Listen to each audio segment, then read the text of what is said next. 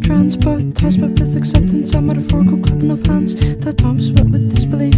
No goodness so chronic. They thought I must be joking when I said I'm an alcoholic. They said I was too young, as if there's danger before addiction. And they drink way more than me, and there's absolutely nothing wrong with them. I can say that I agree when a friendship's based on getting drunk. And sober conversations strip of songs that can't be sunk. Cause I drink when I'm happy, and I drink when I'm sad.